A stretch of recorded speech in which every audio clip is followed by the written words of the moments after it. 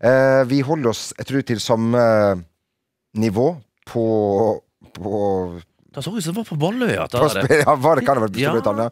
Jeg tipper vi holder oss der når vi skal se på det neste eh, klippet, som eh, handler om en kar som eh, vel sliter litt med å holde seg på eh, beina. Og sånn som det her, det kan jo Det kan jo, det kan jo selvfølgelig ikke Hva er det? Nei, det var en blanding av ba- så er det bane til lugga. Men nei, nei, han prøver å sparke til ballen, Ja, ja. og så, og så tuppa han nedi, rett og slett. Og du fikk jo aldri se det skuddet endte, men klart, det var ikke så viktig. Nei,